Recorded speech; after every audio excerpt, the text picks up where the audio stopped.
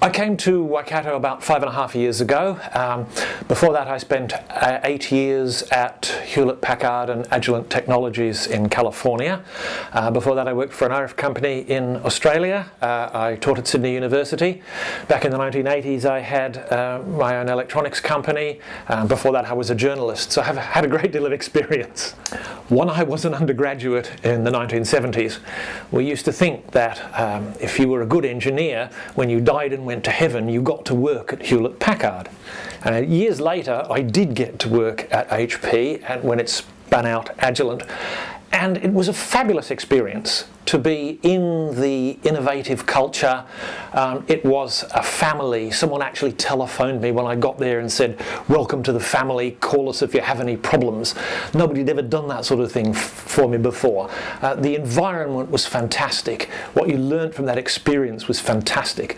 Um, and I loved working for the company. I still love the company, even though it's rather different these days. Um, when I was there, I built a small wooden table which would sit sits now at the entrance to my office and it has a small train on it which carries around a little pa uh, Hewlett Packard carriage um, just as a symbol of the fact that I'd been to heaven. Uh, you know, developments come um, really in two types. You can you can break invention into two parts. Um, there's uh, push invention, which is where you have a great idea and you have to convince people that it's uh, an idea it's worth them paying for. Um, and that's really called pushing or push marketing. The reverse is pull marketing, and that's where you've got someone who says, I have this problem, I really need you to find a solution, and so you start looking for a solution in that direction. Now, of course, it's vastly easier to um, get your invention commercialized if you've already got a customer in the pull situation. Um, that usually happens when uh, a company gets connected to a researcher. And um, Waikato Link is as good at doing that as it is the reverse. So if you have a brilliant idea, they look for someone who can use that idea in their particular marketing area. Um, the reverse is where um, there's a company and you have that company has to find the right researcher, the person who's got the skills and the knowledge and the experience to solve their problem. And that's a question of having the connections, having someone between the companies and the academics who knows enough people to recognize when it makes sense to make a connection. Um, so, um, both of those are important. Yes. So certainly if you're looking for a field of research and you want to have a chance that that will go out into commercialization rather than simply get published in a journal, then you have to start by looking for the people in industry who've got the problems you might be able to solve. And for doing that, um, you, I guess you can tramp from door to door, or you can turn up to find someone who does that tramping from door to door for you. Um, Waikato Link at Waikato University is, is there to do that kind of thing.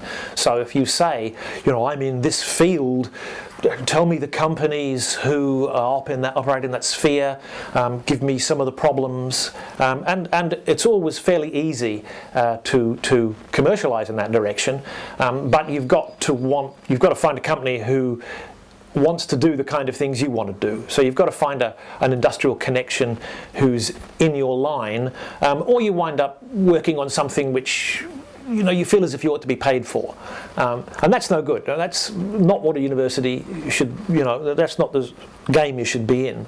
Um, you've got to enjoy what you're doing. You've got to want to see it go out. You've got to have some enthusiasm behind it, and so you need to find the right company who's going to have the same enthusiasm for the same invention you know, my, uh, I often give my students something like um, a startup book to read. Um, most students uh, want to run a company or start a company. I'm going to spin out is the, is the golden aim. And, and some of them do, actually, but um, uh, there is certainly a point where research at a university wants to move out to a company. Um, there's various things which we've progressed to the point where we get local companies involved in the um, production of something. Um, when when we want more than about three of them, it's time to, to find a company. You either spin out a company and start manufacturing them if you um, think there's enough of a market. Um, maybe you go to local companies and you get them to assemble something for you. Um, we have various projects at, at, various points where we, we get local companies involved. As I said, sometimes my students have started up, there's a couple of groups who've started up companies when they left. Um, those companies, you know, like my first company, don't tend to fare all that well because you find there isn't enough market. But there's a, there's a, a pathway to come out of a university into commercialisation. Our students are always enthusiastic about doing that. Um, the place is pretty good about that. You have to deal with intellectual property, you have to handle it sensibly, protect it where you can, run with it in other circumstances. That's something this place does very well. It's small, it's integrated with the different departments, it's close with local manufacturers. It's a good environment for that. Uh, to get effective research done, you really need to have a critical mass. It's much more difficult if you're working by yourself. You know, uh, working by yourself is more like a consultancy job. It's less fun. You want to be paid. But if you want to get some some real momentum in a group where ideas are being bounced around and put out into the field, you want to collect students. And um, I discovered almost by accident that the ingredients to um, attract students, and now I have to refuse most of them who come to my door because I have um, more students wanting to work with me than I have capacity to handle. Um, the first thing is you have to pitch the idea or the project with some enthusiasm and you have to tell them it's going to be fun. They don't want to do a year or three years on something that's dead boring. So you've got to pitch it excitingly and I discovered also that it's very effective to put it on a web page. I think they like to go back and read it a couple of times. Um, they don't want to feel as if you're giving them a hard sell. But you say, oh, if you're interested in this field, I have two or three projects. Here are the URLs. Feel free to read up on them. Come back, talk to me afterwards. That's worked a charm for me an important part of commercializing something comes from you really wanting to see your baby out there. You know, I get students who will come to me and they say, yeah, I really want to work on something that's uh, going to be patentable and make a lot of money. And you actually don't want to take those students on because they're just, you know, it's a business exercise and they're not do it. There's no love of the technology. It has to start with the love of the technology. That's what um, Bill Hewlett loved what he did and his ideas were loved by other people. Um, he wasn't sitting there thinking, I'm going to make a multinational company out of this. He said, you know, if we've got something that's useful to people and it sells well, that's great. And that attitude is, is very, very important to something being seen through the distance. Uh, it's a long distance. You've got to love doing it or, or you, you don't get from the start to the end. The tamper sensor came out of the fact that um, I was attached to a club and the club rooms would get vandalised. And it reminded me of my favourite statue, which was in a park near where I lived in Sydney many years ago. And it kept getting vandalised, and the council would continuously um, repair this piece of sculpture. But eventually they got sick of, of doing that, and, and my favourite bit of sculpture disappeared.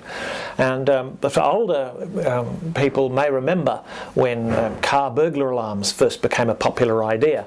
Um, uh, you'd get a thunderstorm or a loud noise, and all sorts of car burglar alarms everywhere would go off. And they often went off when the car wasn't being stolen, uh, with the result that nowadays when a car burglar alarm goes off, people hardly raise an eyebrow.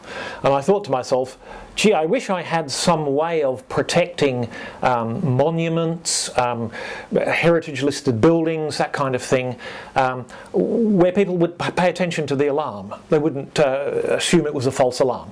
And so, you know, we thought that would make a, a very fine student project and um, we'd had some equipment that was ideal for the job. It was serendipity. The idea came together and it worked superbly well. I mean, we, we just couldn't believe how well it worked. We had competitions where we invited people to set this thing off by um, firing shotguns, um, you know, jumping up and down next to it, and we couldn't we couldn't give away a thousand dollars for anybody who could set it off accidentally. So we knew it really worked superbly well, um, and that's where the product came from uh, it works using something you may have seen uh, on old westerns. If you've seen one of these um, western movies where the Indian sticks his ear on the railway track and he can hear a train coming from a huge distance away. And the idea is that the sound travels far better in the track than it does in the air. And we're using exactly the same principle. So the thing is listening both to the environment, but also it's got its ear pressed against the thing it's trying to protect. And it knows that if there's a tremendous ruckus in the air, that a small amount of sound in the thing it's trying to protect is not a problem. But if it's a quiet evening and there's some serious noise attached to the object, then it probably means there's somebody with a crowbar trying to pry it open or break it off or, or whatever. Uh, and so using that same technology, it's doing an electronic version of the same thing with a tiny computer embedded the sensor um, and it, it comes out that it's extremely cheap, um, it's very versatile. You can use it to protect um, the wrought iron grills on buildings. You could use it to protect statues. You can attach it to heritage buildings.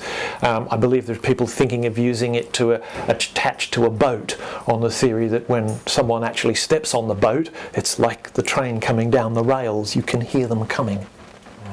The smart sprinkler is, is something that's halfway between push and pull marketing.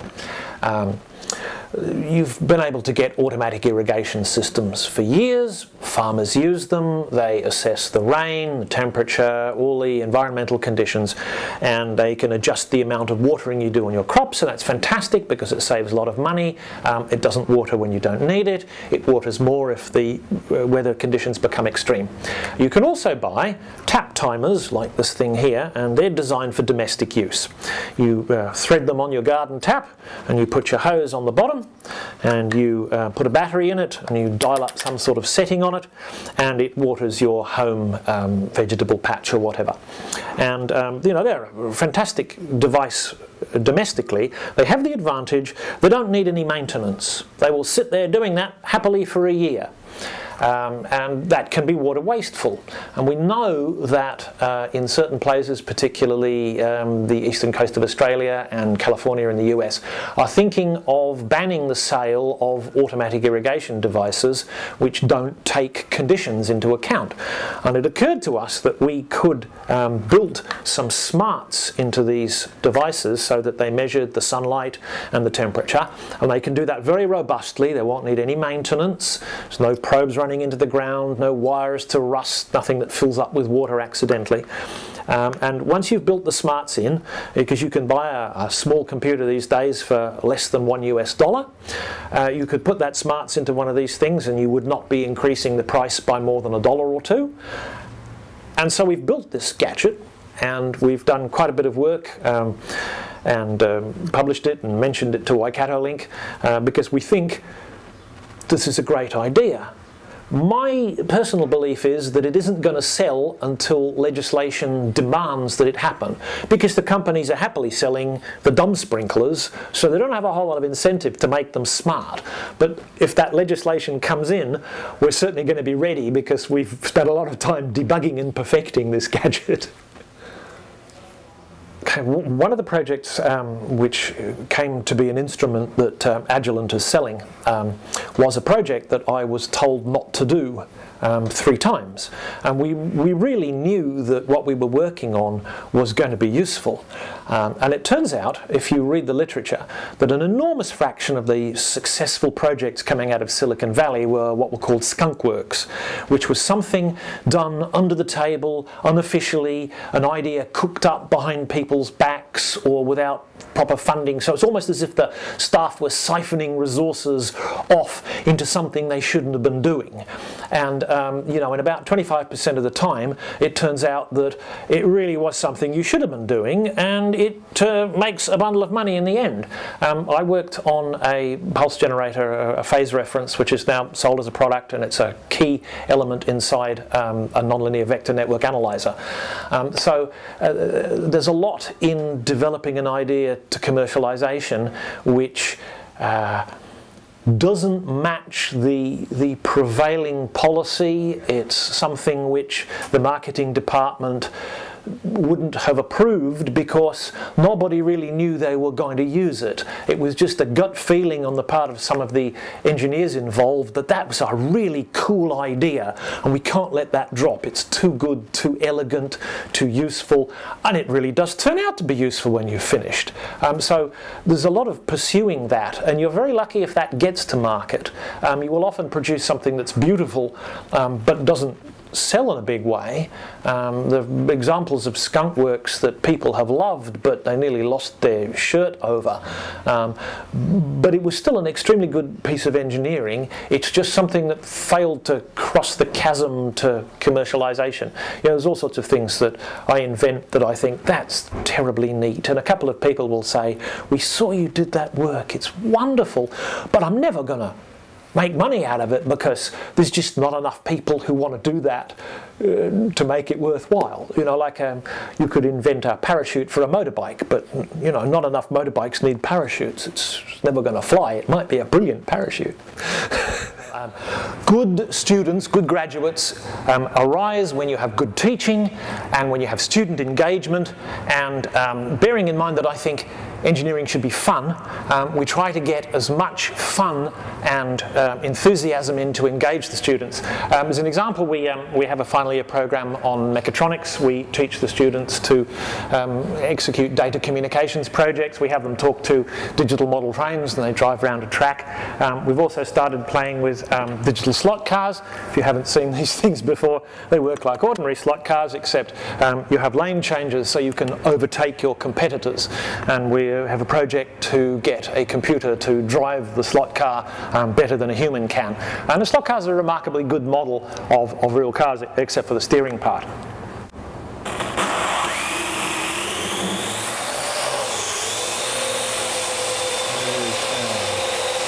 Round we go.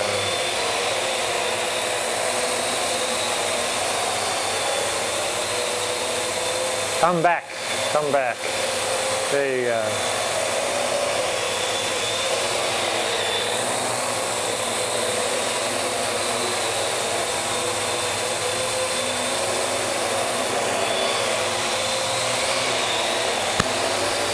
Whoa. And we'll see if we can land him. Oh, oh, oh.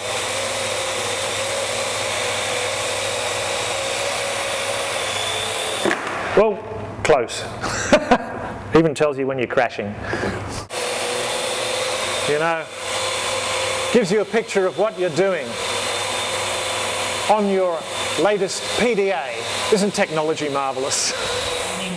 We can weld together large structures. We provide all of the students with access to lathes, milling machines, tools. We have small workshops up in electrical engineering where the students can go and do work quickly. Uh, that's a big plus on a department. You don't spend time waiting for things, you can get hands-on right away.